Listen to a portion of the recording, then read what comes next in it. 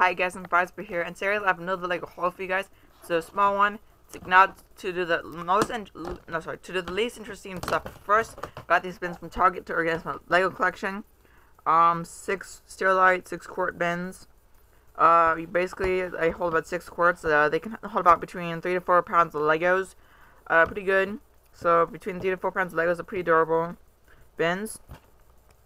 And um, also pretty good. And I got this for less than a dollar because it was on sale. Less than a dollar with shipping.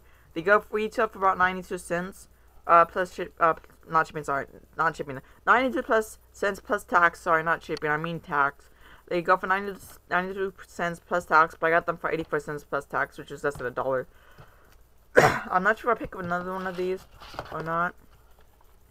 Honestly, I don't know if I'm gonna pick up another of these six quart bins or these sterilite bins, but anyways, um, yeah. So um, I might I'm not sure if I'll pick them. I probably will, but I'm not sure when I will. now, the most interesting part about this one Lego set I got at Target, Lego The Batman Movie. I've never watched it, don't have any interest in it, so you can spoil it all you want on this channel.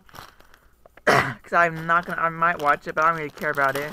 I think the is more interesting, opinion, if it's because I'm not turning that much into like, I mean, I, I get what they're trying to do, it's, kind of like an, I'm not sure it's necessarily that good, sorry, I'm like, sorry about my cough, it's kind of like allergies, you know what I mean? It's pretty hot out, um, anyways, but anyways, uh, ages 7 to 14, 30, uh, I can't see this, 5 to 4, uh, the mini Batwing, 80 pieces, so this is a polybag they got at Target, uh, kids got a free coupon, which is awesome, um, anyways, um, as it here, the details, this is, uh, I think 2017 set, right?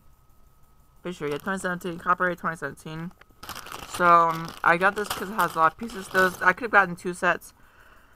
got this for about 2049 cents. Alright, so basically 50 cents cheaper, I think, right? No. I think about 50 cents cheaper, I think at least. Retails for because Target, Target usually sells the polybag for 50 cents cheaper. At least in the cash register section.